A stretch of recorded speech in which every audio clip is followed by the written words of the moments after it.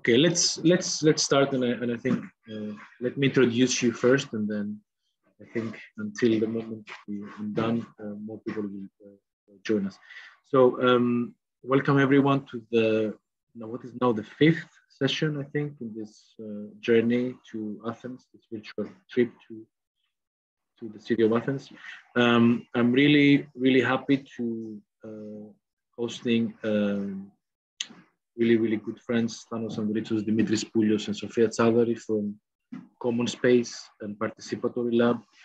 Um, I, I think they are doing an incredibly important work for, for all of us now in, in not only in Athens, but in Greece, which is to actually start uh, discussing, practicing, designing um, in a way that we haven't seen before, uh, which is uh, an intermediate scale. We were talking about it quite a lot in the past couple of days. Um, Greece is a city, uh, Greece is a country, Athens is a city that is designed primarily by the private sector, a small scale private sector, um, where extensive, let's say, self-building processes are taking place as well, and uh, within which um, some kind of central government produces quite uh, abstract and distant plans on a macro scale, right? quite often, many of these things are not really materialize. So I think the effort today is to really think on, on another scale, on a, on a medium scale, I'm using a term that it's not necessarily appropriate, but a scale, first of all, that involves local municipalities, it involves neighborhoods, and it starts designing and thinking about the city in a horizontal way, not in a hierarchical, hierarchical way. So um, I'm incredibly happy that we're going to have this conversation, this presentation today. Uh, the title of the lecture is Co-Designing in the City of Multiple Crises. Uh, but not, not, not only. Um, um, I will start uh, by introducing Common Space, uh, which is a collaborative interdisciplinary planning and design group uh, operating since 2012. Provides uh, high quality services in the fields of spatial strategies, architecture, social research, urban and environmental design, and participatory planning. Uh, uh, it seeks to be a link between citizens, social institutions, uh, and public authorities, a hub for the exchange of knowledge, ideas, and practices among citizens, experts, and decision makers. Uh, participatory Lab, uh, the Laboratory of Spatial, Urban, and Environmental Participatory Planning for Climate Change Adaptation, is an initiative of Common Space funded by the Greek uh, Green Fund, which is a tool of, uh, say, uh, create, that creates opportunities for planning in various scales. Um, and it aims to create an active interdisciplinary community that studies, documents, learns, disseminates, and implements participatory planning processes uh, for the climate change adaptation of cities. Um, we have uh, Thanos and Sofia with us. Uh, I think Dimitris will join us in a little bit. Uh, Thanos Andritsos studied architecture at the University of Thessaly and urban and regional planning uh, at the National Technical University of Athens. He has more than 10 years of experience in studies and projects related to urban design, sustainable urban development, integrated territorial investments, uh, project, uh, sorry, I lost my uh, project management and planning. It's okay, it's okay. Legislation. and as a researcher, um, he's interested in social spatial inequalities, sustainable urban development, and the changes of climate breakdown. Uh, Sofia is a qualified architect, urban and regional planner, then uh, master in engineering and master of science and a PhD from the National Technical University of Athens uh, with 15 years of experience in multi-scale architectural design and planning, which also includes site, project management, and awards in architectural competitions. She has worked on several participatory planning projects, integrated urban strategies and studies related to climate change adaptation. Her academic interest focuses on the aftermath of crisis upon urban landscapes. I can see that Dimitris also joined us uh, just now. Um, Dimitris Poulios is an architect, urban designer, uh, with studies in Greece at the University of Thessaly and the UK, Cardiff University. Uh, since, 2000, uh, since 2021, uh, he holds a PhD in urban planning and urban geography from the National Technical University of Athens. His scientific interests lie in the field of geography, urban studies, uh, political economy, and architecture. Uh, he has won architectural and urban planning competitions and has experience working in Greece and abroad. Uh, Sofia, Thanos, and Dimitris, uh, dear friends, the floor is yours, or the virtual screen at least. Hello, everyone. I'll start first, then Thanos uh, will do the main job, let's say. Well, on behalf of Common Space and the Participatory Lab, uh, we would really like to thank you for this uh, invitation and especially you, Platon. Uh, we are truly glad and honored, to be honest, uh, to take part in this virtual tour of our home city, Athens. And we really appreciate the multi-layered perspectives exposed through projective cities in general, and this project in particular. So who we are, Platon has already introduced us quite completely. So uh, I don't want to be very analytic on that. We are a, a collaborative interdisciplinary group a collective network, let's, let's say, of experts focusing on urban space. And we are referring to, uh, especially to public space as a common, a research field in which we are all active, um, communities as well, and environment and climate change adaptation uh, too. So born back in 2012, our initiative uh, has been evolved and developed during a decade of crisis, crisis with an I or E, I mean, one crisis or many crises, a financial crisis after 2007-8 uh, that took the form of a severe debt crisis here in Greece, uh, and had a tremendous impact uh, in all aspects of people's lives and, and the democracy. Um, and had, of course, its uh, spatial dimensions.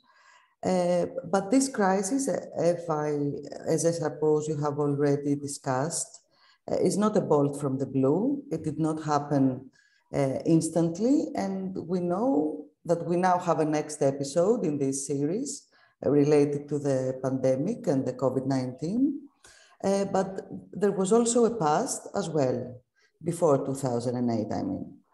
Uh, the spatial dimensions are related to a, a, genealogy, let's say, of phenomena that created a background on which uh, the crisis each time comes.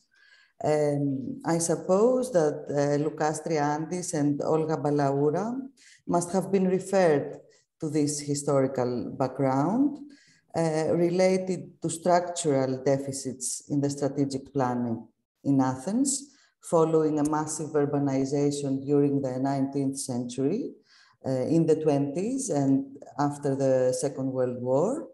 Uh, a second characteristic that is very important is the small land ownership and the small construction capital uh, which is a, a, a, quite big difference related to UK, for example, where you mainly uh, study and know better, I suppose. And the, import, the important role played by the construction sector uh, in the Greek uh, economy. Um, so I'm, I'm, closing this uh, parenthesis, but I, I just would like to underline the fact that the crisis appears as a recurrent phenomenon. It's not only what we live now or the previous years uh, through the financial or the debt crisis. And uh, we need to go deeper in order to understand this uh, context. So we, as Common Space and our recent initiative of uh, Participatory Lab, uh, Platon said some things, funded by the Green Greek Fund, and aims at creating a community for participatory design um, with a special focus on climate change issues. Um, there was a conference as well held a month ago that gives a good idea about that. And Platonas knows it very well as he was a very active member of the organizing and the scientific committee. So in this era of, of crisis and crisis, uh, working collectively it was for us not only a need, I mean, we had to do that in order to, to survive, but uh, at the same time, it was a statement.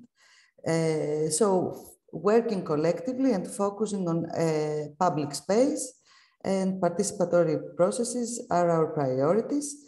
And I can now give the floor to Thanos, uh, who is going to be able to explain uh, and be more analytic after that uh, short introduction by myself. Thank you very much.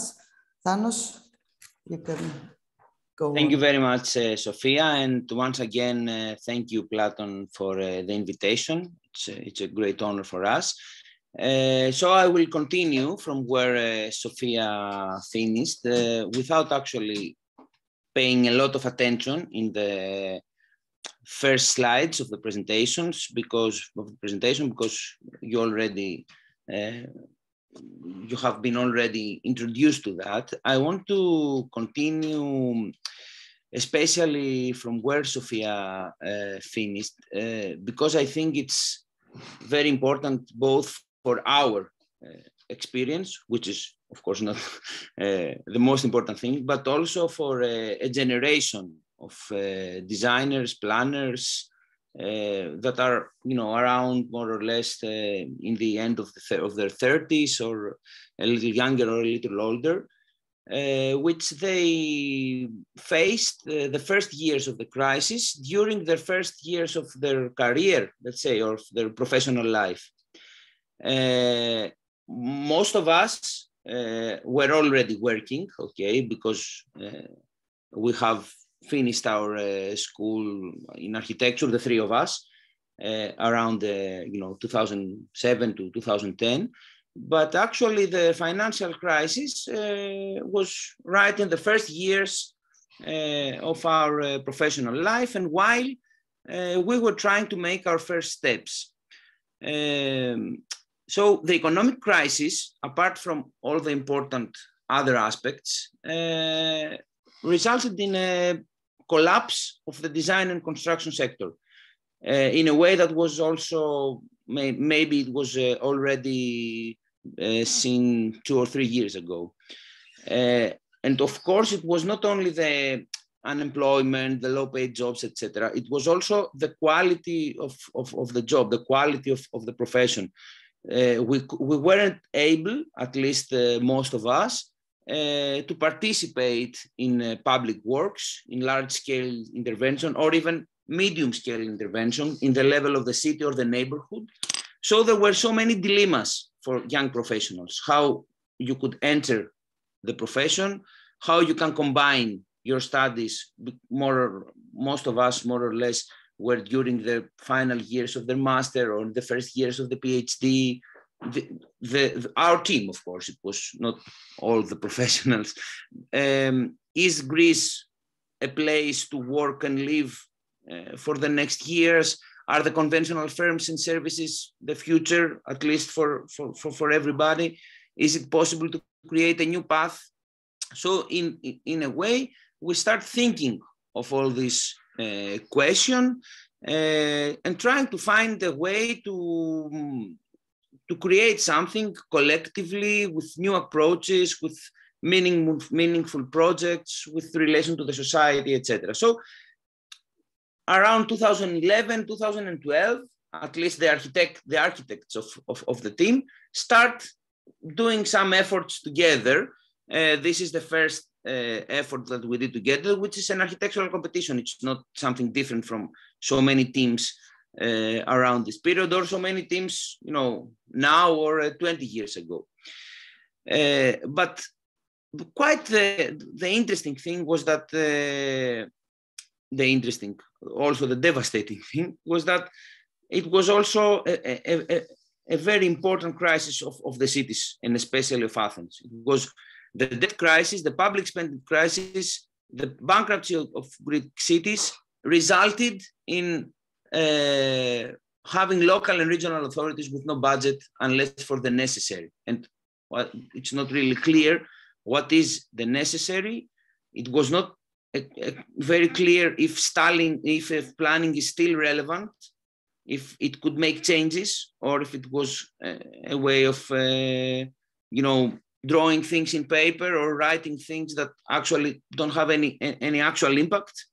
Uh, if architects and planners are still needed, which is not entirely clear if you are in a city or in a country that uh, should uh, minimize their uh, spending in everything, if social research is useful, etc. So all this area, all this background of political and social conflicts, moral questions, economic difficulties, personal and, and collective, uh, creates a background for, for a need for a rethinking, at least uh, for our point of view.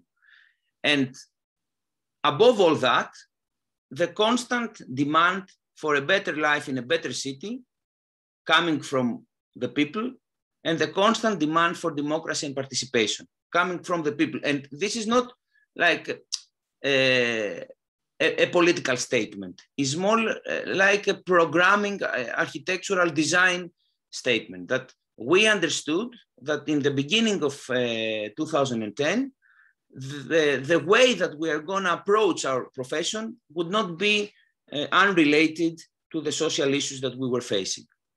So this is the general background from where we start thinking of, working, trying to find methodologies, trying to combine uh, the international experience of some members of our team, which they have, uh, you know, been studied uh, abroad and they have participated in some projects, things that we have read, things that have we have seen in even in Greece. So we start somehow thinking about this.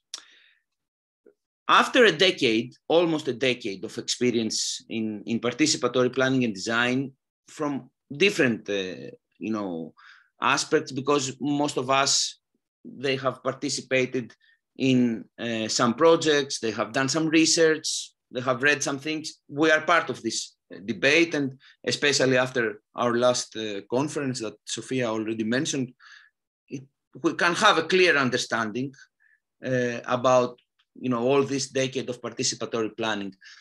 What I, I can say, it's more an empirical, but okay, with uh, you know fragments of theory inside it, is that uh, from a historical perspective, the Greek experience is, uh, is, is the following. There is a first wave of participatory approaches of participatory method, of, of first steps of public participation during the 70s and the 80s. But they are more into the democratization of the political system, uh, which includes a, a, lot of uh, many levels of uh, local representation, etc. There are some examples, and uh, we have studied some of them. But there were small steps in regard to participatory planning. Of course, it is a vast uh, notion, what exactly is participatory planning, what is the boundaries uh, between participatory planning and particip public participation and consultation, etc. But I think that you can we can see two clear different periods. The one is during the 70s and the 80s. Then during the 90s and 2010, 2000, uh, zero, the decade of 2000 to 2010, we see that there is a a lack of experimentation in, in, in this area. And after 2011, we think that we can see some basic steps. Don't imagine something like a wave, but uh, some main steps uh, of uh, participatory planning and design. My main thought and our main thought is that in Greece there is a tradition of citizen participation in political affairs.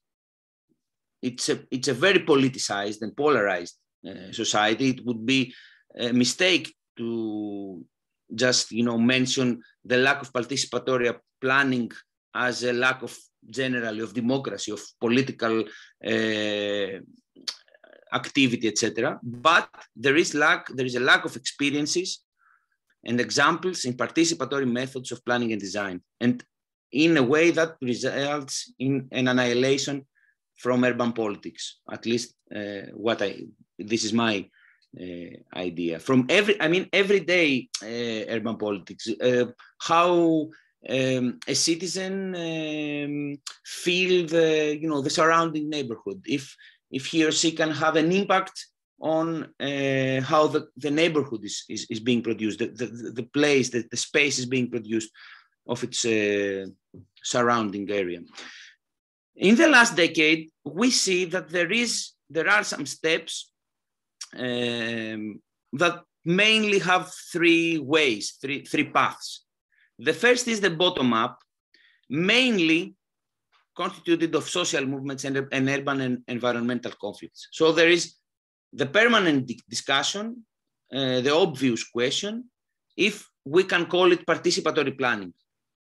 Uh, I wouldn't easily say that, but I think that it would be a mistake not to keep in our mind that for many issues of urban design and planning, and especially for environmental uh, conflicts, uh, different land uses, etc., uh, there are a lot of things happening in Greece and in Athens in the last decade. There is also the up to down uh, process that uh, has appeared in uh, Athens and in Greece in the last decade, which is a quite new thing, mainly coming from European or national projects and mainly focusing on the typical aspects of public consultation, which is not always uh, irrelevant and not always bad, of course, uh, because uh, to start integrating consultation and public participation processes in all the level of policy making or uh, planning,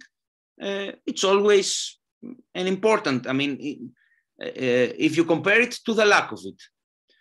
And also the third way, the third path are new groups and approaches of experimental research and design, mainly small groups uh, similar to us, but I think we have we are a little more mature than that, but similar to us, small design groups, small research groups, uh, educational programs, university uh, courses, etc. So there is, for me, one main question, the question of institutionalization. Is good or bad? Is it a step forward or backwards? And generally, if we can say that public participation or participatory planning and participatory design in Greece is something established, is something uh, somehow connected to the processes of uh, spatial production and spatial planning or not. So in this general background, I want to add uh, some some lessons, some uh, I don't know, some some things that we are thinking from our experience. And our experience starts, I mean, in, in a the realization of projects, not uh, as, as a research or uh, as, you know, methodologies, etc from uh, an invitation that we received from uh, a colleague and some teachers um, of the first high school of Chania. Chania from, uh, you know, if, if you don't know, Chania is a, is a city in Crete, which is, I don't know, a, something like the sixth or fifth in population in, Greece. And uh, uh, it's a mid-sized uh, Greek city uh, you know, mainly uh, with uh, with a lot of tourists during the summer months, but also with a very active community, students, high school, university students, etc. So there was this school complex um, with a very active school and neighborhood community and teachers and students, etc and they wanted to redesign or to, to, to produce a plan for the redesign of uh, the surrounding road, which uh, they think, and uh, we agree, uh, is a road that could uh, easily be either a pedestrian road or a, a you know traffic calming road. And also it is a, you know a road safety issue because there are so many people and so many children going every day, etc. So we received this invitation. We did it voluntarily and Dimitris and Sofia know more about this if you want to in, in the discussion. And this is the first uh, project that we did on 2014. And since then, we have now realized, implemented more or less more than 20 projects of participatory planning in different scale, at different scales, different kinds. Other are researches, other are projects, etc. we have at least uh, four or five kinds of, of projects of participatory planning. And I don't want just to present some of our projects. I don't think it's very useful. I just want to highlight some some aspects, some some some areas that uh, areas of uh, interesting uh, things that we have some uh, some experience and, and and we have learned things from that. The first is that we believe that uh, you can actually use and utilize participatory methods in almost all the level all the levels of planning. Of course, that means that you need to have different tools.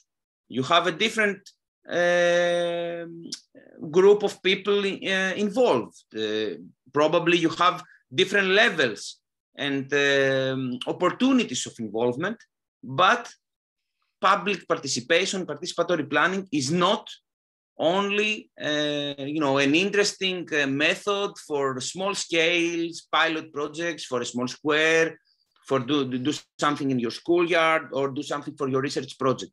It could be, it could be used permanently for almost all the levels of planning. And this is something that we experienced. It's not that we have done something. I don't want to overestimate, uh, you know, to, to exaggerate uh, the, but I want to highlight the different levels, the different kinds. And this is something that we have seen. We, in Gavdos, for example, Gavdos is a small island uh, uh in, uh, in, in Greece, uh, which faces very important problems of, of development. The people are actually uh, leaving from Gavdos because it's not easy to, to, to stay there in a permanent basis. So we started the program, the sustainable development, the participatory program for the Gavdos Sustainable Development Plan, which was based on participatory design and was an initiative of the municipality of Gavdos, implemented with the support of the MOU. MOU is the unit for the uh, operational programs uh, in, in Greece.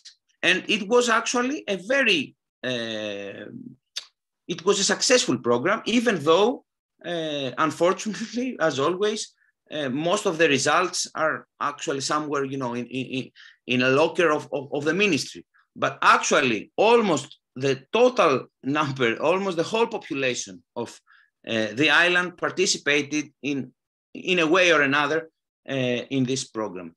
We have uh, worked in a lot on digital innovation and uh, spatial decision-making systems. We have worked a lot on uh, urban design projects in, in, the, in the scale of neighborhood. Uh, and the easiest, in a way, the most typical thing is that we have worked a lot in um, schoolyards with students and uh, the participatory projects for the design of schoolyards is, are among the few uh, and our first uh, of actually being realized, being constructed. That we have uh, drawings uh, that are uh, results of the participatory program that have been actually constructed. Uh, but all, of course, it is also um, a way, an approach uh, to work in other levels, not necessarily in the typical design uh, level.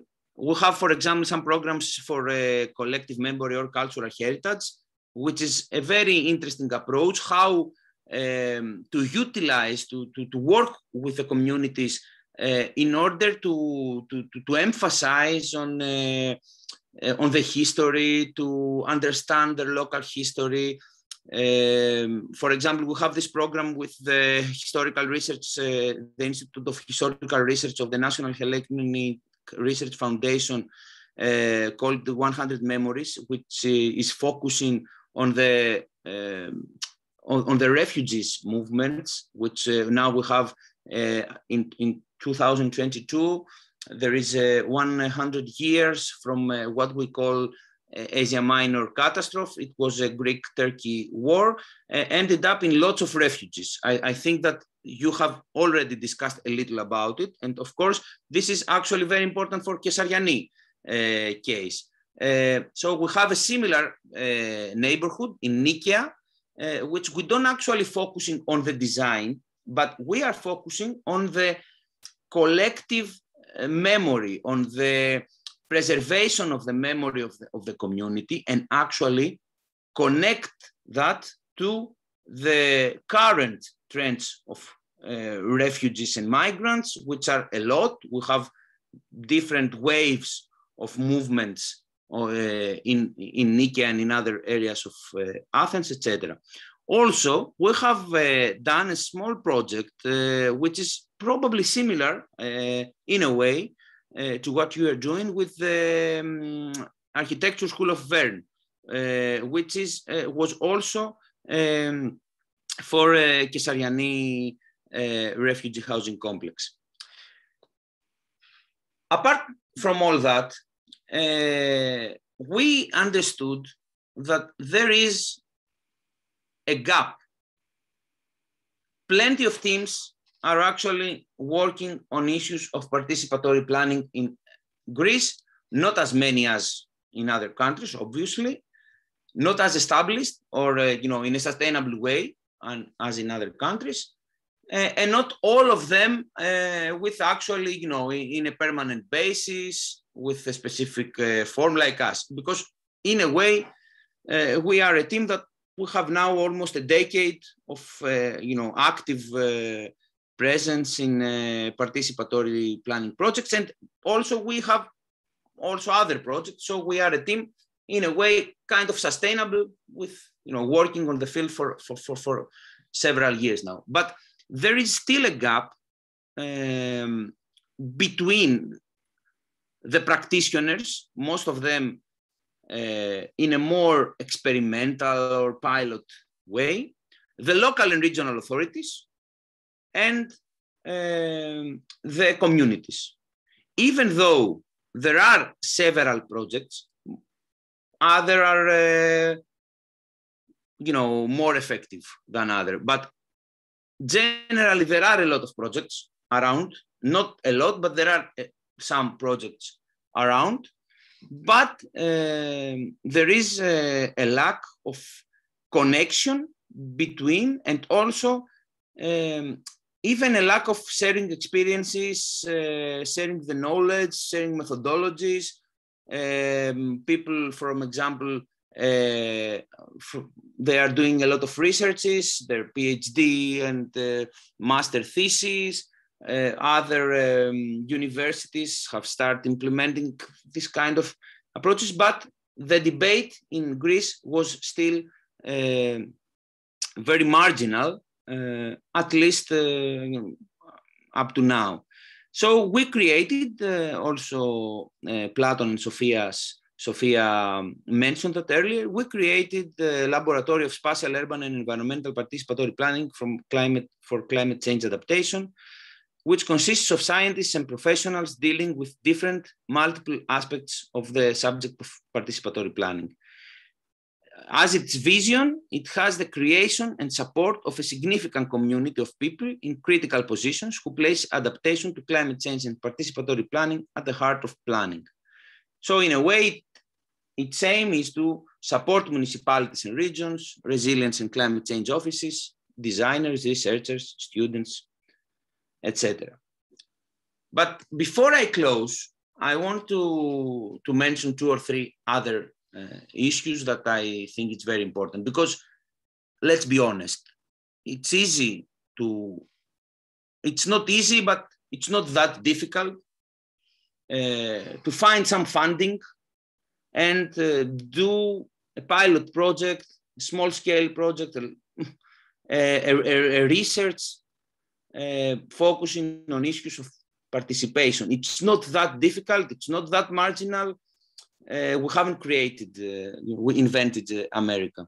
But there are now extremely severe problems in the Greek cities that demands, I suggest and we suggest, people's participation, citizens' participation to be a very important aspect of, uh, of, of, of, urban and regional planning.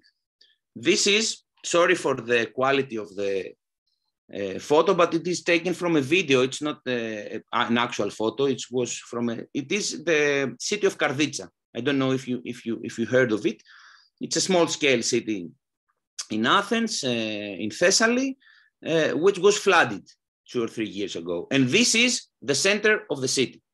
And for me, it was quite an, a surprising thing because some months ago, before the flood, I have participated in a study of the historical center of, of the economic center of uh, Karditsa uh, for a project called Open Malls. So six months ago, we were in this place.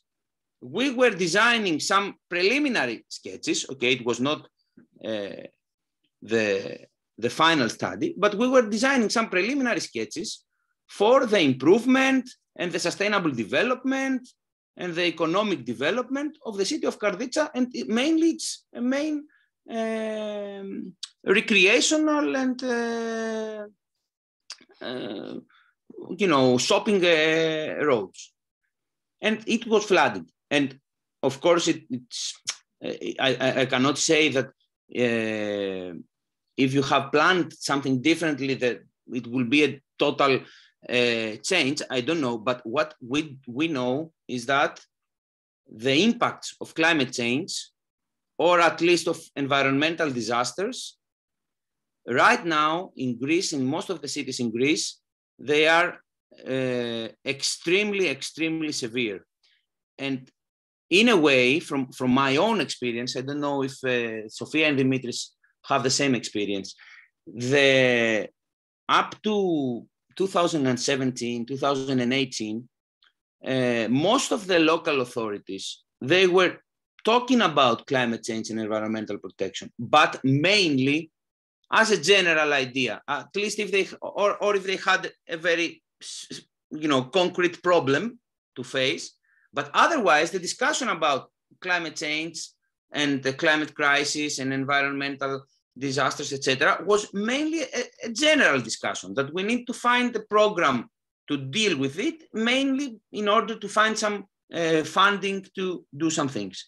The last two or three years, more and more, they realize that the threat is actually very concrete, that it will impact on everyday life in almost all the cities of Greece, especially in Athens, which is one of the most uh, affected cities in regard to urban heat and uh, rise of uh, temperature in now and for the next years. And we suggest that citizens' participation in planning and decision making for climate change adaptation is extremely crucial. It should be more and more involved in the decision making and the way that the national, uh, international, and local authorities are thinking of ways to solve the problems rising from, from, this, uh, from this topic. And above that, the last two years, we have the new condition of coronavirus and the new condition of social distances, which of course it will not be permanent, but it creates uh, and it, it makes necessary to understand and highlight additional threats coming from this condition, even though it is, of course, an extreme situation with extreme uh, health dangers, etc. But there are a, a lot of threats that we need to highlight as architects, urban planners, and thinkers, scholars, whatever. One is, from my point of view, the threat of public space, the commons in general, the city in general, to be realized as, as potential hazards, as origins of infections. That public is, is something bad, something uh, that somehow will uh, endanger you. The second is how you can discuss about participatory planning and design without the physical participation. This is a problem that we faced a lot because we had several pro projects running before and during the coronavirus. We found a lot of uh, inter online tools and other kind of digital tools uh, to replace the physical participation. In some way, in, in some cases, this uh, ended up in a way, I mean, in an effective way, but it is obvious that the, this new situation, I don't know if it will be uh, for how long, it creates new social and spatial inequalities and exclusions. So to sum up, not to sum up, just before uh, thanking you and uh, giving the floor to, to you and to, to Platon, I think we can uh, think uh, of where we are now, both in terms of uh, you know the of our profession and participatory planning and design in Greece, but also in a way uh, in, in, in, the thinking of what the developments uh, for Greek cities and especially Athens uh, will be in the next years. First of all, it's obvious that the crisis is not a temporary situation. Uh, for some years, like you can, you know, put your head in, in, in the sand and wait uh, for the crisis to be over. In a way, both architects and planners and designers and firms, etc., and local and regional authorities uh, have now understood that crisis with I or E in a way is a permanent situation, not necessarily related to you know this uh, austerity measure, this agreement with European Union, this specific environmental disaster, this specific period, but we, our, our societies and our cities in many levels are vulnerable. There is a lack of uh, democratic planning. There is a lack of participation in planning. And also there are severe social and economical problems that in a way creates a, landscape of uh, necessary and of, of, a landscape that there are solutions necessary to be uh, found. The experiences from the participatory projects of the last decades, of the last decade, both coming from Commonspace and participatory lab, but I think this is a general, uh, the, the, a general conclusion, are contradictory. It's not that people and communities are shaping their landscape, are changing their habits, etc. It is a difficult thing.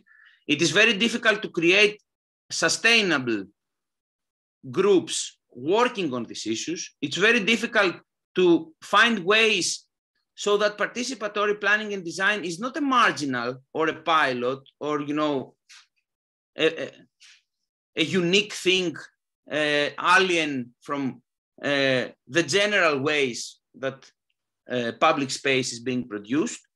And of course, it's very difficult to actually persuade uh, the communities not only to participate, because from our experience, people were always interested, not in the same level, obviously, but if you actually focus on working with them on dealing with their issues, on honestly explaining them what are you trying to do.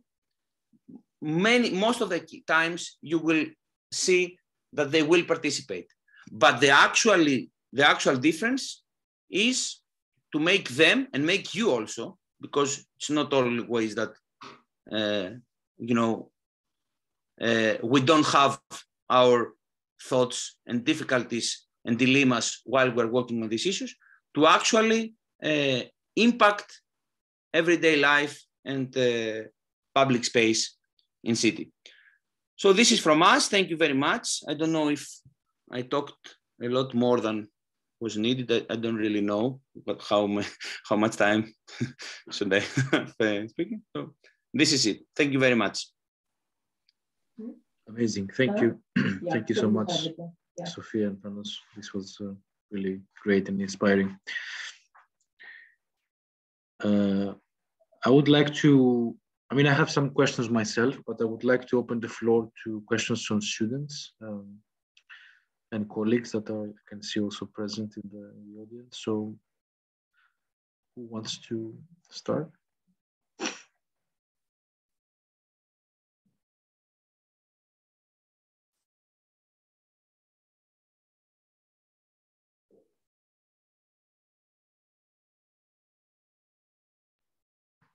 You wanna start? Yeah, sure. Yeah, just to to open the floor uh, to everyone. Thank you so much, Thanos and Sofia, um, for this amazing presentation.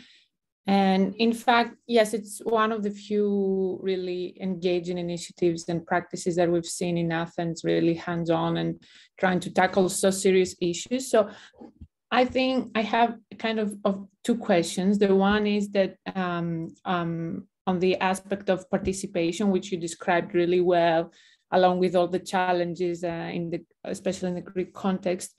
Um, so I was wondering if you have um, at least thought of or trying to develop um, a more particular strategy of, you know, instruments, organs, uh, uh, of, of uh, you know, of organizing this process of how participation could actually be facilitated uh, perhaps in collaboration with um, local uh, uh, governments, municipalities, or you know, um, because I I've also myself have um, done research on community projects, and I I felt that the the need to to um, conceptualize such you know organs of, of bringing people and and um, institutions together in, in this process. I was wondering what you think could be a strategy on, on that. And my second question is on the aspect of um, the, the climate crisis, um, the, the sustainability aspect. Um, and I was wondering, I mean, you showed this amazing image of Karditsa, and I was wondering on, on that aspect, what are the key factors you, uh, your practice would consider as the main challenges to, to be tackled um, in this um, in this struggle? Um, you, you can talk about Athens, what you see as the, the main challenges are, or should be prioritized, or any any Greek city that you have been involved uh, in in designing. Thank you. Platon, do you want us to, to answer or wait for sure. more questions? Sure, sure. You can you can do it. Uh, can, you can do it now. Okay, Thanos, I can start and maybe you can continue if you like. So Especially you for climate crisis. From climate crisis, you are the you are the expert. Well, um, about the strategy and methodology, um, I would like to say that there is no, you, you can't find one solution to fit them all, okay? Uh, because we have participatory processes uh, in different scales. It's, the, it's a participatory process to design with the school community their back, their, the schoolyard. And there's a completely different thing to uh, have uh, participatory processes on the strategy of a whole area, uh, etc. But uh, there are some um, basic steps that we usually follow in these procedures, and there's a there's a um, bibliography, let's say, uh, and many things written on that uh, that we have summarized in many cases, and we also have worked on particular guides uh, for example, for, for, for, schools, like a, a program that uh, Thanos didn't mention previously. There's an Erasmus Plus pro, uh, program called InPad that has created a, a guide and a platform uh, for um, participatory design in, in schools. So there, in this guide, we have um, clarified the basic steps that someone can follow a teacher, for example, or a school uh, community in order to, to make their own unique participatory process. So we need um, a spine, let's say, the basic steps of the procedure, uh, but then we want the people to, to build on that and uh, be creative on that. It's, it's interesting even when people choose um, the ways in which they are going to discuss. Uh, when they choose the basic questions, the topics, and they are, uh, we don't want to kill this creativity that comes um, and we always uh, see in bottom-up procedures. Uh, so uh, this is what I would like to underline mainly. And about, I didn't understand exactly the question about uh, climate change, um, but I have also this idea to mention about schools again. For example, in Athens, uh, a big uh, issue uh, is the urban heat island. it's, a, it's a very dense city uh, with, a, with an urban fabric uh, that lacks public space and green spaces. Uh, and it's, it's quite an important problem. So um, using the school network as a way to cool the city, like cool points, uh, is, a, is a very good example of how you can combine the participatory planning procedures I was talking about earlier uh, with climate change issues. For example, you, you can go to schools and create this network, designing uh, not only uh, according to the needs of the users, but having in mind, and it's important to put that question in the beginning, uh, the climate change uh, issues. So if you multiply uh, this uh, paradigm, you can have an effective network. Paris has done that as a UIA project, Urban Innovation Actions uh, project, uh, using schools as cooling points in the city. I, I talked through an example. I, I, don't know if that was your uh, question exactly, but we can keep on talking. Uh, I could also add something if it's okay. Sure, sure. Okay. Uh, First of all, uh, I would like to thank uh, Thanos for the presentation uh, because uh, it was very difficult to um, uh, deal with this uh, in this in a very pressing timeline, and I think that he highlighted all the all the issues that we are trying to deal with this last decade. Um, as for Ioanna's question, I think that I would like to highlight two things.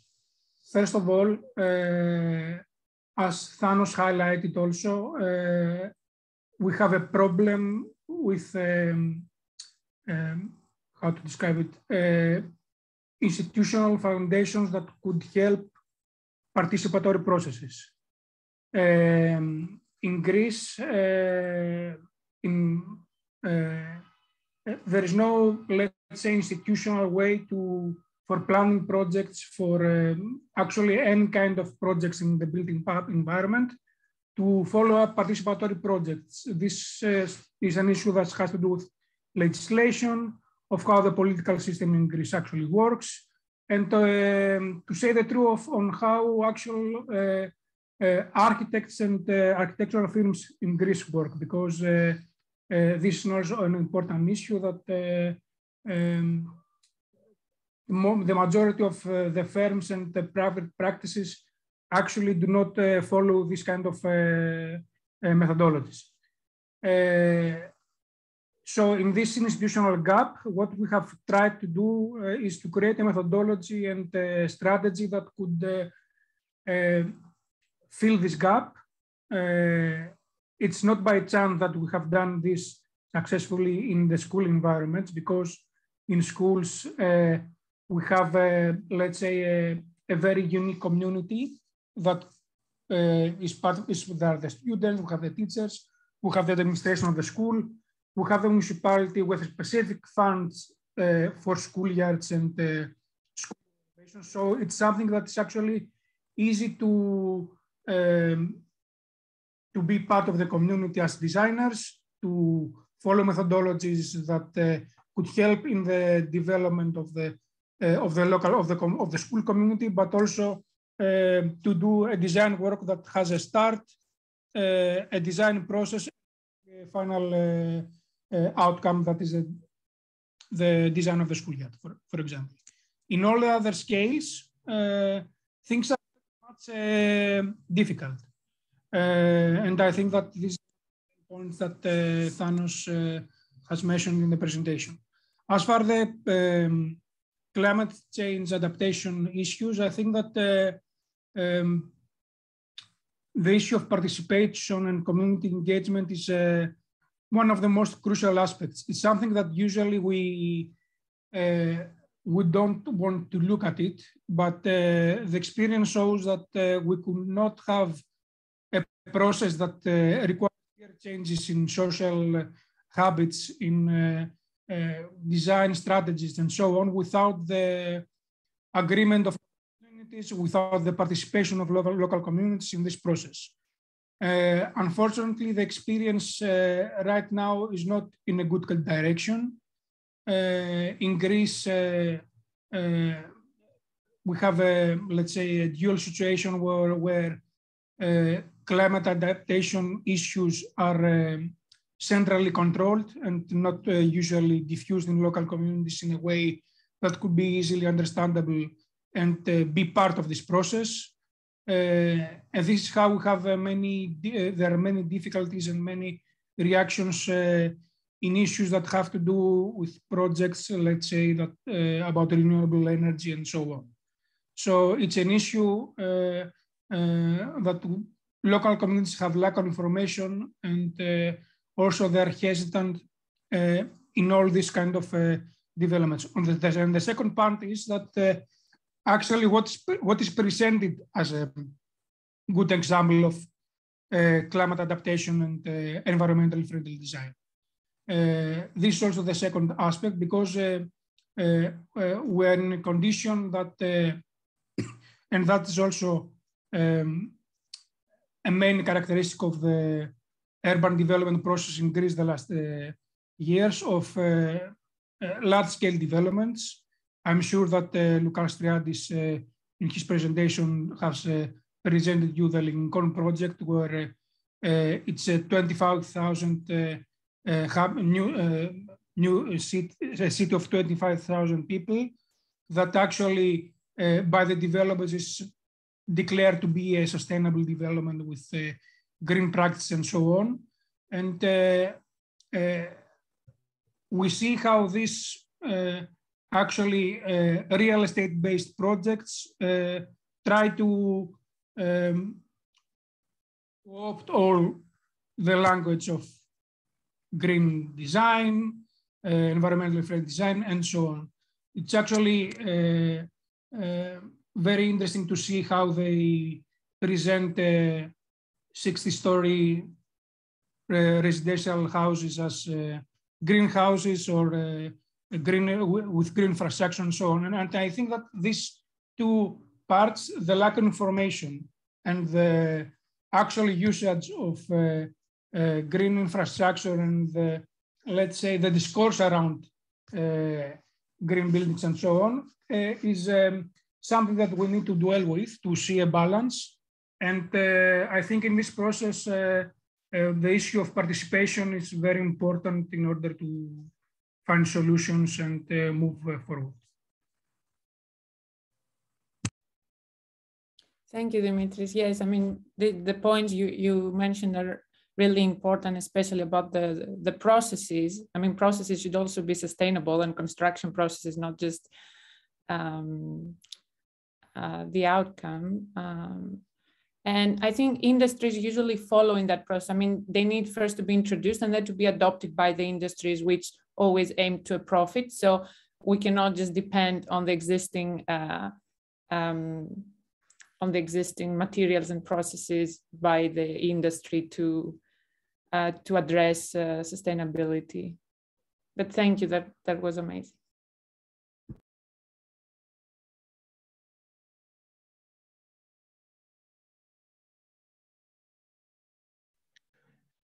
um, anyone from from the audience?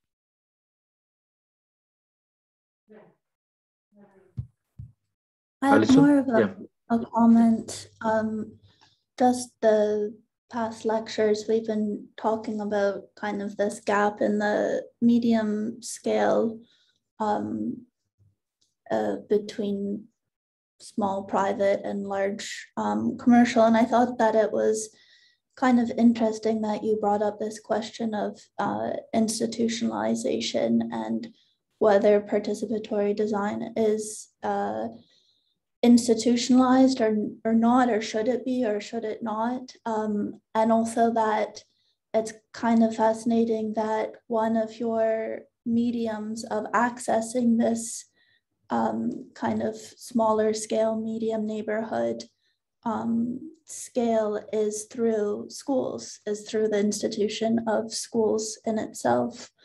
Um, and I, um, kind of on another note, was really interested by your project with collective memories um, and how was that through like schools that you accessed the population? Or um, if you could expand a little bit more on, um, I guess, the relationship between uh, participatory design and um, your process of participatory design with kind of these institutions, as well as um, these projects that take form, like um, uh, working with uh, refugees for uh, and their collective memories, and how that actually informs like a um, the a, a, project in itself, uh, the housing project, I guess specifically for that one. Uh, thank you very much. I, I can add some comments, and uh, if uh, Sofia and Dimitris wants to add something more, they can uh, do it later. First of all, the, the issue of institutionalization. For me, it's very, very important. Uh, not uh, necessarily the institutionalization of the participatory project process, which of course is very important, but also the ability for realization of participatory projects. Of course, it is not, it is worth it, even if you do a participatory project without actually being implemented, in many ways, you can see important gains for the community, etc. But the one of the reasons why we tried so much to, to change scale and also not, not, not scale, to change, you know, to, to, to, to make our projects more mature, to, to realize some projects and, you know, make a next step after doing several small scale project, not scale, let don't use the word for me. Uh, I am using the word scale, not in the, in the way as on the spatial uh, scale, mainly as a scale of, you know, how big the project is, how much money, how many, how much time, etc. But for, for us, the first, our first experiences were always incomplete. And it was very difficult every new, you know, every new project to actually create the community, persuade them to participate, promise them, not promise, I don't know, tell them that the, it, what they will say will matter. And after the completion of the project, not the of the of the, of the process of the participatory process, uh, nothing to be done after that. And this is the typical problem with uh, the founding from, for example, foundations or uh, pilot projects of European, etc. That most of the times the issue of realization is kind of difficult and also many times it is outside of the typical way that, for example, a municipality is working. So I believe that our main uh, I don't know, our, our, our main success is that we found some ways, school is one way, mm. the easiest and the most important, but also there are other ways. We have uh, found, we have found, we found some ways also to integrate participatory methods even for urban design, for urban space design. And I don't know if Sofia later wants to add something, but there are one of the two, one of two projects that we are working now uh, will be among the first in, in Greece to actually make the at least part of the plans uh, that are a result of a participatory pro, uh, a process to uh, detail plans and uh, you know to, to, to be realized. And for me it's very important. And it's also important because i am afraid that in athens especially we will not be able to deal with climate change if we don't talk about the streets the streets mm. the asphalt i don't know the, the, the streets and this is the most difficult thing to do it's easier to discuss about a huge redevelopment project than actually minimize uh, the asphalt of uh, the urban tissue in, in, in Athens. For me, it is the number one, not, I don't know the number one, but at least, you know, in relation to the discussion that we are having right now. It is very, very difficult. We, it's like it's easiest to demolish, I don't know, 500 uh, houses or to take all the ministries that they are discussing now right now take all the ministries and put them uh, in a governmental center uh, in an area of athens than to actually dig and you know have a soil or, or, or grass to, to, erode. And the second that i want to say sorry because i don't want to take all the time. With uh, the, the collective memory project and, and, this design we have done it with also with with uh, schools. Uh, okay. but this is only the first uh, step. Right now there is also a parallel process that is with uh, the communities it is easier when you have refugee communities or two third you know second third fourth generation in Nikaia, for example, there is a very interesting social mix that you can find in the same neighborhood and maybe in the same classroom, uh, grandchildren of refugees, children of refugees from mm-hmm. other uh, countries, and also refugees first generation, I mean, in the same classroom.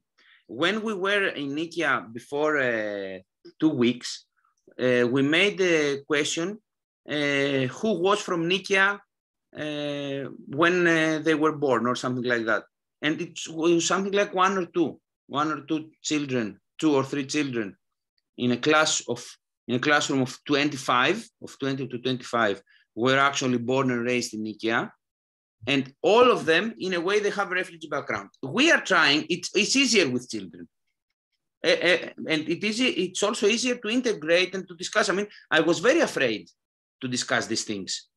To be honest, I was thinking to do drawings and, you know, not so difficult things. And actually the teachers support us and say, don't, don't, don't be afraid to discuss about their parents and their grandparents. It is easier for the children. They can, they, they, they will relate to it. And for me, it was a very important lesson. Of, of course, with the neighbor, with the communities is more difficult, uh, but we will uh, work on it. And we will try to deal with this uh, 100 years in a way of participatory, of, of, of, of, community participation, of integration of different stories, refugee stories, which is a different way than the official celebration of the 200 years from the Greek uh, revolution of uh, 1921. The idea that we are trying to do is that to work on the local history, to work on with the local communities and their histories. It sometimes it can create a common ground for understanding the city and maybe uh, creating, you know, better relations between the different uh, minorities and uh, groups. Thank you. Is there a chat on this Zoom platform or no? Not uh, no, ah, it's okay. uh, this this uh, for for okay, reasons that have to do with yeah. Sorry, do you want to put something in the chat? That's what you wanted to do. But never mind. I was to. You, you can, can, send an email to me. You can send ah, an email okay. to me, and I can I can forward it to everyone. Okay, that's a good idea. but I would like to show you, just to have a quick view. Uh, I would like to, if you have time and if you want, to check course, this project, Cultural Hydrant or Hydrant, it's an acronym actually. And what I would like to add on what Thanos uh, has already mentioned is that, well, I prefer um, to talk about not small scale, let's say local scale. Uh, because when, when it comes to, to more, um, let's say, to consultation of urban strategies or uh, bigger, uh, bigger things, uh, or the institutionalization of uh, the procedures and things like, like that, it's more a political thing, which I'm very much interested in. But talking with with uh, architects and uh, focusing on on on local scale, I think uh, it's quite interesting and can be really uh, can create a paradigm quite important. It's not small. Um, I totally agree with what Thanos uh, mentioned about materialization. I mean, when people design something or um, in being involved with something that uh, is being implemented uh, is very important for them. They trust you and um, and the local, let's say the municipality or whoever uh, funds the project, that it matters that they what they said had an impact on what happened, and, and it's quite important as well that there you need to show the impact. I mean, the fact that we had a participatory planning process led to a particular decision, added an aspect that we wouldn't have uh, think about it. Uh, I'm just adding, you know, things. Uh, and the small scale does not mean only uh, a schoolyard. Uh, that's why I'm, I'm showing you this uh, cultural hidden project and you can check it. This is about a whole municipality and uh, it's about culture and community. There's a, a, hidden monument in this area of Halandri, uh, an aqueduct, a, Roman aqueduct. Um, and we are building on that uh, procedure of uh, revealing, uh, in quote marks, the, the, the monument. Um, and this is related not only to heritage issues, uh, but also to everyday life and well-being matters, but also the use of water in order to um, πώς είναι το ποτίζω, ρε παιδιά, να ποτίσεις τα πράσινα, in order to...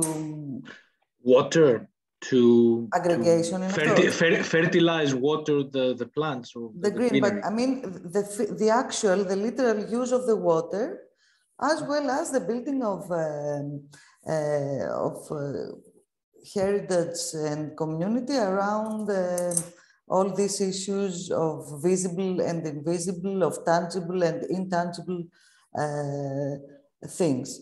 And we do that using many stakeholders, to, to add another thing, are in that, like local associations and organizations, as well as schools of the municipality of Halandri, um, and uh, the municipality itself and its services.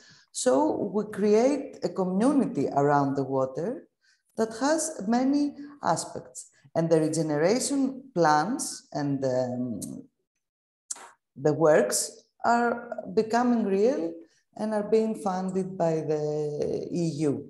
So this multi-scale and layered procedure will have a, result and it's not small scale. It's, it's local level, let's say local level.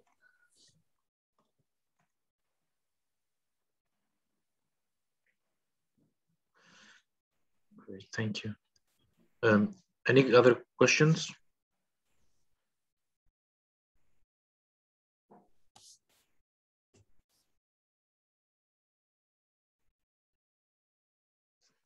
I I'll I'll try to to to make one. Um, I mean, I'm incredibly um, interested in in some things that you mentioned about your experience in working in in working class and refugee and I mean neighbor, sorry, and neighborhoods where refugees and, and migrants are currently living. Um, and quite often there's something equally interesting socially and culturally that in many instances their neighborhoods were uh, that they were established by Greek refugees in the 1920s. So we have often you know that the, there's a class and composition and and and and cultural composition as well, which is for me often very intriguing. The fact that you know the descendants or people that you know lived in these areas are now accepting multiple subjects. I mean, it, it's a question, of course, if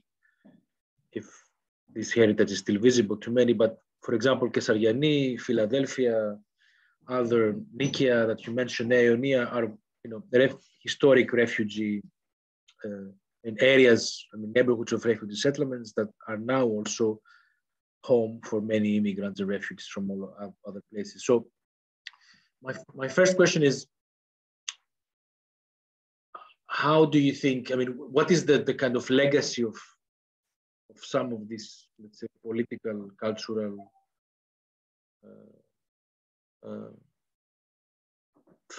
experience in in these neighborhoods when you when when we approach them today, and if there is any. Or, and the other question is, again, working on on on this. I, I love what Sofia said. It's not, and think it's much a much better way of putting it than the one that I attempt, attempted in the, in the introduction. It's not small or medium or large. It's local. So it's a it's a question of, of locality, of belonging, right? Of finding a yourself within a specific, let's say, social and spatial framework.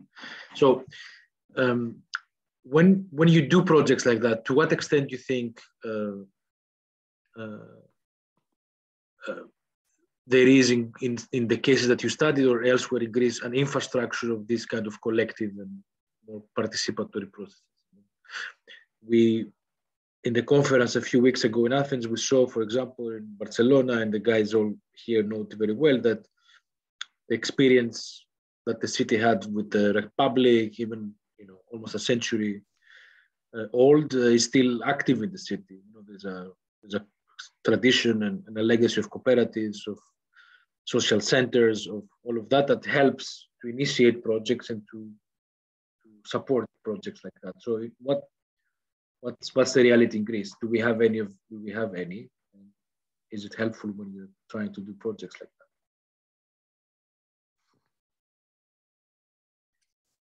Uh, okay, again, I will I will start and uh, Sofia can uh, add. Uh, personally, I was quite amazed uh, when I understood how important the refugee legacy was for Nikaia, at least some of them, uh, of course, uh, residents, the, the refugee history. For me, it, I thought it was mainly what we were saying that because, okay, we are doing a project with historians and when we are architects and we know the local history, etc. And I thought that was mainly, you know, the argument uh, that I will try to highlight something, and it was more evident than that. First of all, it is evident in the city, especially in Nikaia. Not all the uh, cities has the same, but Nikaia has a big, a, a large part of uh, its urban center is uh, still still uh, you know still standing buildings from from this period. But apart from that, what I think it is interesting. Um, I don't know if it is so much uh, connected to your question, but I think it's very important, is which kind of institutions and which kind of, of, of, of groups, let's say, can relate to people and which cannot. And even though I am not a fan of you know bureaucratic, public, etc., I believe that these institutions are easy, more easy to connect to the local people. When you go with the municipality, when you go with the teachers, when you go with uh, people from the public services that I don't know, they do the something for water and sewage and whatever, you are more integrated to the city than when you do the same thing with a foundation or a European program. Uh, so somehow I think it is important to not, uh, you know, to keep in your mind that you have somehow, even if you if you are if you will fight with them because they will be late or because they will not give you the money or because whatever, it is important to find ways in the typical way that people understand that it is something that in a way they it's, it's their own Onassis Foundation and the Latsis Foundation and an Horizon project and Commonspace, to be honest, it's not actually something that somehow is has a, a very concrete role in the neighborhood. But the municipality has, the teachers has. And I believe that when you are doing things based on this even if the found, even if the money is coming from a, a foundation or European Union. I, I, know I'm not saying I, I know that this planet, but uh, uh, it is important, and the universities, the universities, even if you do the same thing, people relate to their children doing interesting projects, and they are not that related to the same people if they do it for a, a cultural foundation. So you have to find ways to be, and of, of course, especially in neighborhoods of working class people and refugees, there are still some important groups. The local group of uh, Smyrni, of uh, Pontos, of uh, one uh, one village. I don't I don't even remember some villages that I don't even know that they were they came from 100 years ago. It might be stronger and with more links to the neighborhood than uh, you know a regional authority or whatever. Uh, we are mediators, if you agree with that. Yes. We are mediators. We, we, we want to help, but we don't, it's not only us that uh, do the job, you know. Uh, you need to, to have all these uh, stakeholders and uh, associations and people work together in order to make um, a participatory planning process to materialize. And it is doable. That is what we think. That is what we want. It is doable if uh, right now there was some funding, some people to be engaged to, and uh, somehow the you know the local. We offer methodology. We inspire yeah. people. We support them technically as experts, uh, but we can't be either the public. Uh, uh, the municipality and things like that we can we are not the residents and the um, the subjects uh, of this uh, procedure. And there's a, a, big literature in political science about the third sector and um, its uh, shady, let's say, character. There's, there are sources and uh, tones of ink uh, written about these matters. Uh, so you need to be very careful. You, you need to have all these things in your mind and be you know, quite confident that you can help uh, in these uh, ways. But it's not easy. I mean, there are uh, things that you need to be careful.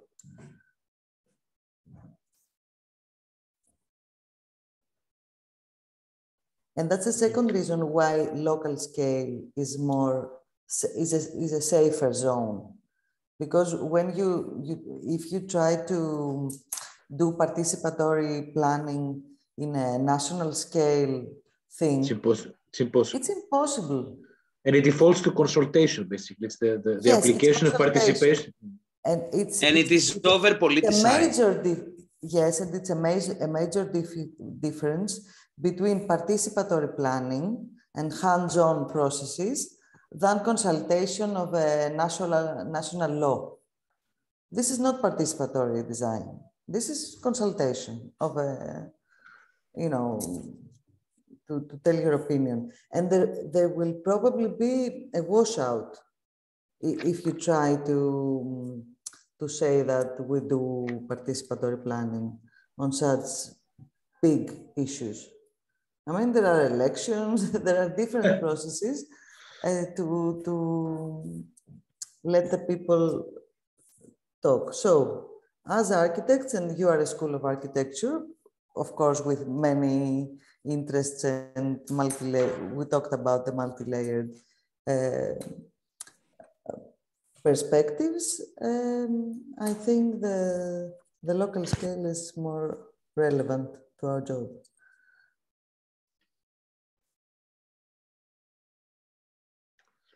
Thank you. Uh, Kajen, do you want to ask something? I saw you unmute yourself. Um, yeah, I unmuted myself to ask something that was kind of discussed. Um, maybe I can, I, I don't really know how to formulate this question, but let me see what I can do with it. Uh, thank you for, for the, the discussion. I completely agree on the scale matter that we, we were just discussing in terms of like the, the, the size, the dimension of the problem must be attacked in a, in a relatable way. And that is something that I I don't know. I feel I've been discussing a lot lately.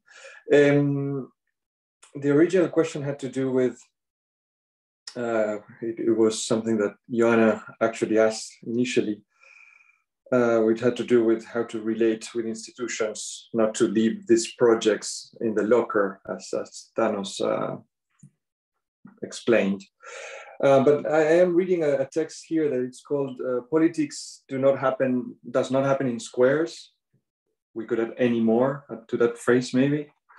Uh, and I would like to know your uh, your thoughts on how how to approach uh, people or how to engage.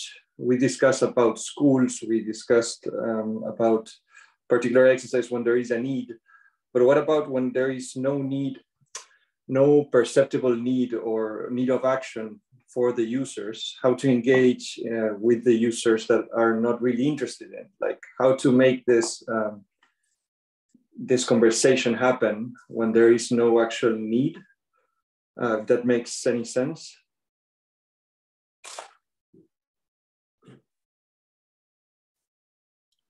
If you want, to Sofia, you can whatever whatever you prefer.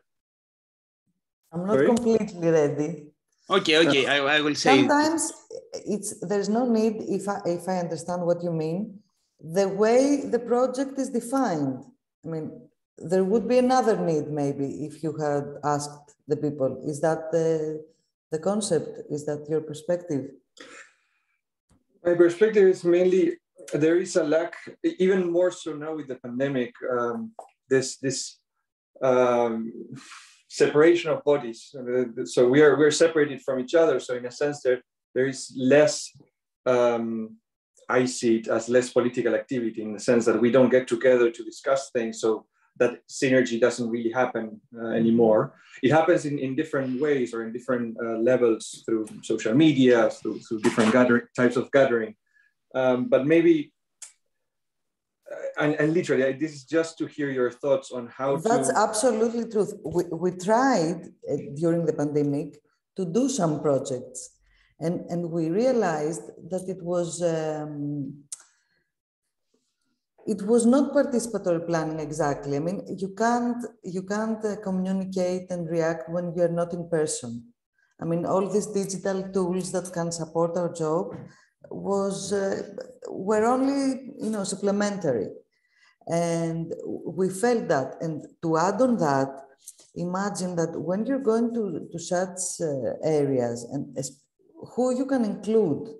I mean there are people who have weak internet who don't speak the language um, or even if they have internet they have one laptop and, and there are four kids in their house that uh, do education, you know, tele-education. So who would take the laptop? Or who would have the, let's say, who would like to discuss about these things when they had severe problems with people dying, being having anxiety because of the of the pandemic and the lockdowns. So imagine all these factors together Uh, and yes, sometimes we, we were feeling awkward saying that, yes, we have um, this meeting this afternoon. And, you know, people had their own problems and um, it was quite awkward to say that uh, we need two, two hours of your time to discuss about um, green spaces in the schoolyard. Which schoolyard? We don't go to school.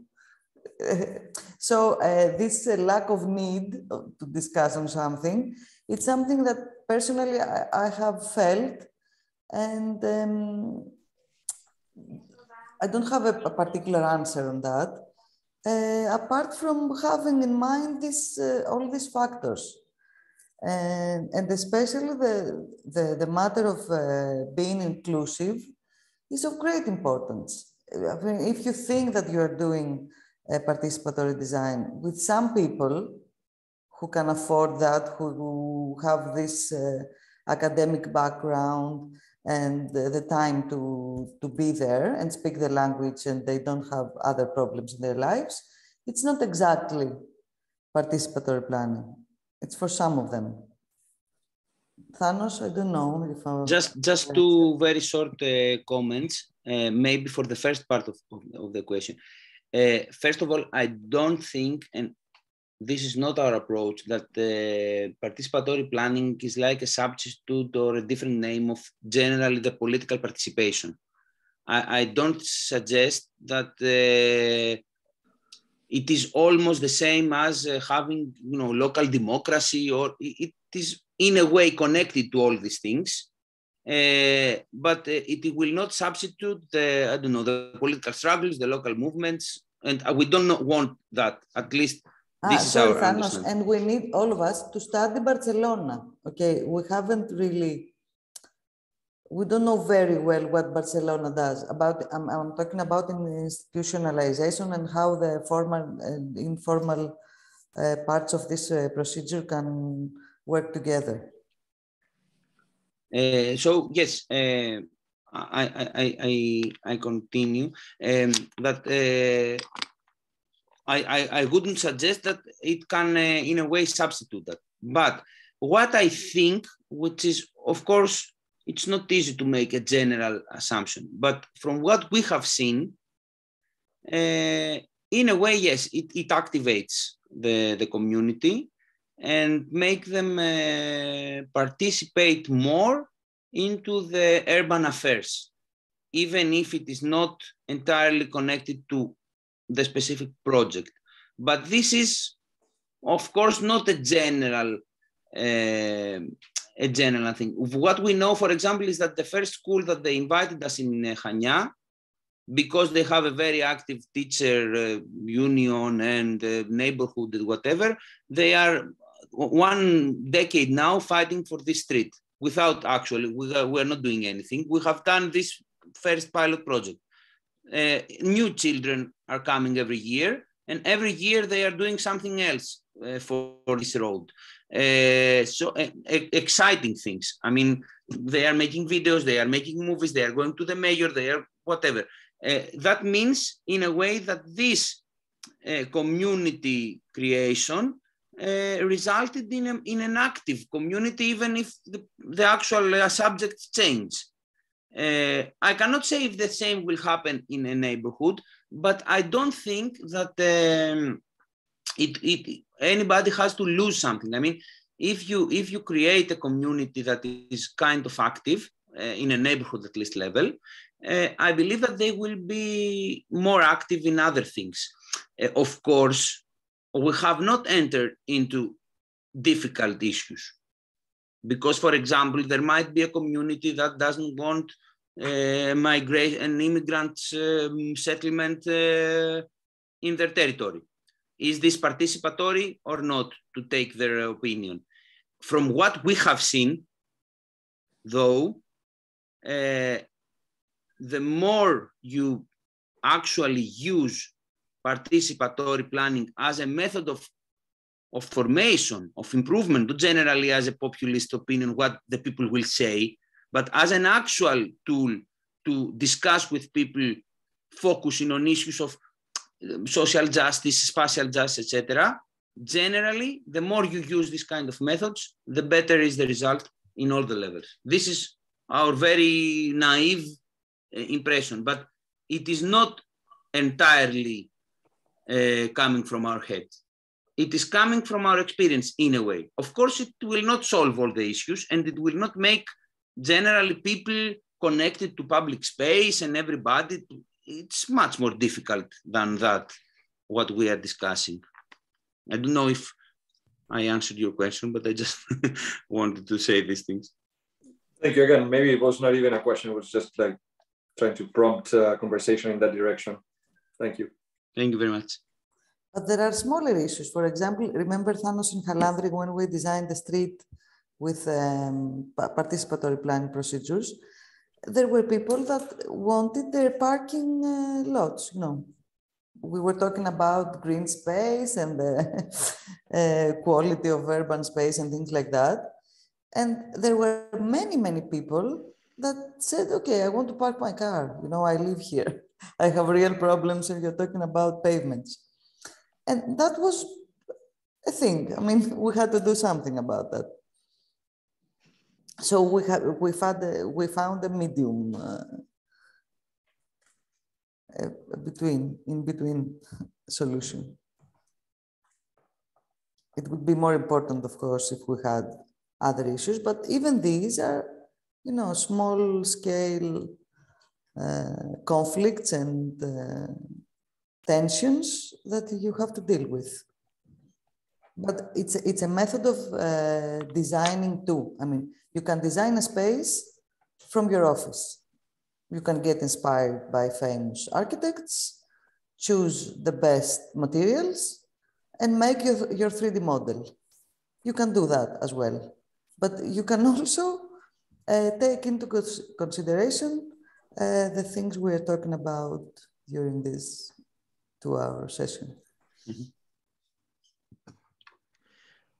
um, Great. Um, no, I'm a bit co conscious of time, so I was uh, I would suggest to to close it here. Uh, and thank you both so much for the for the presentation and the intervention. And uh, I, I I can promise that we will bring you back and you know we'll take advantage of your kindness and your time uh, soon.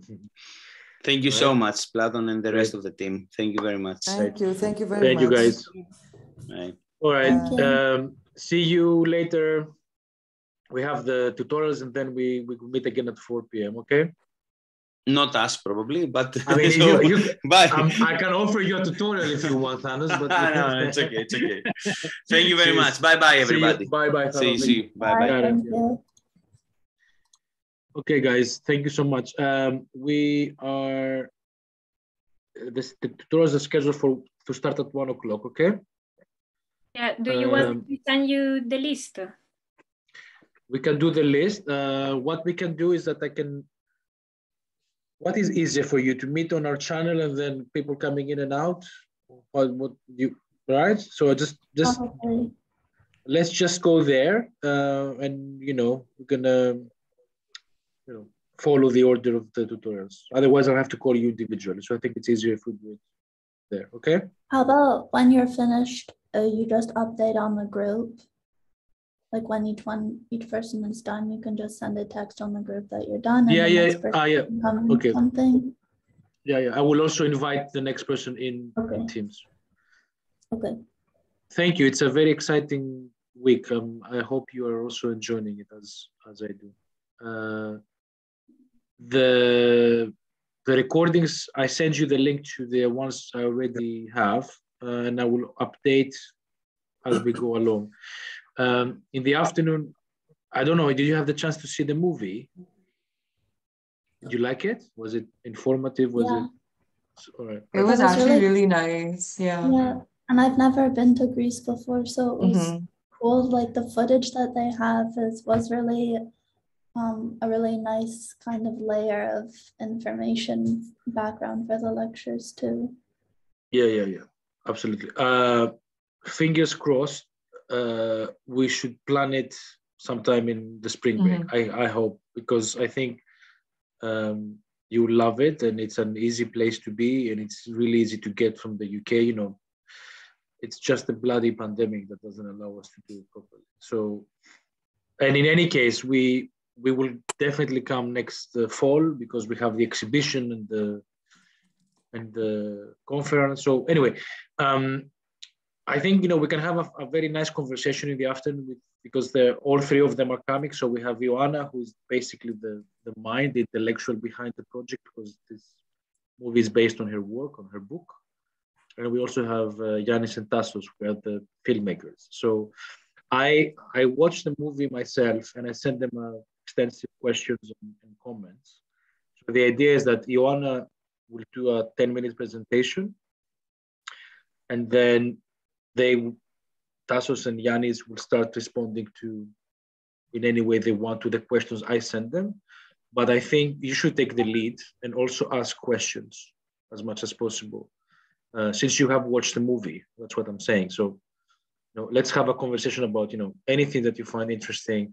Uh, obviously, the more architectural questions are probably addressing Ioana or Ioana should address them, but questions about filmmakings and, and also the way this movie was put together, the amazing interviews, these amazing interiors, you know, they're like really fantastic footage. So mm-hmm. think about it and, you know, they're incredibly accessible, both of them. So we're gonna have fun. Um, see you in an hour. I mean, one by one and then in the afternoon, okay? Lovely. Bye, guys. See you. Bye.